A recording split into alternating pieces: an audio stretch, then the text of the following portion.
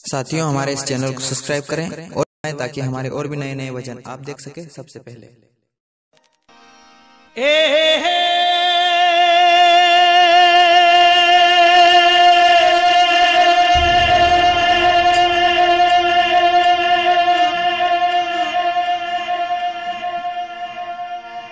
अरे गुरु बिन घोरी अंधेरा रे संतो